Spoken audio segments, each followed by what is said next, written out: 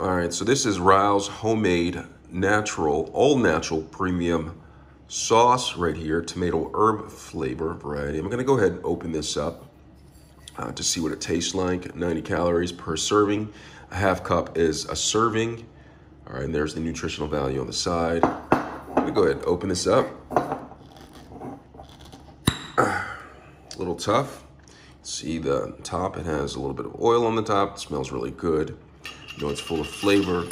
There's always oil at the top of Rao's sauce. I believe that's olive oil. Just gonna stir this up a little bit to get that mixed up. It's a lot of good tasting. I'm gonna go ahead and try this out to see what it tastes like. All right, so it's there it is. It looks like there's pieces of tomato in there. Uh, my mouth is watering just looking at it. I'm gonna go ahead and try it. Wow.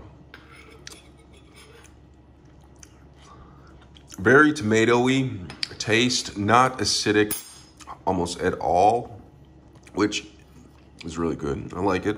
That's Rao's homemade tomato herb. Really good sauce.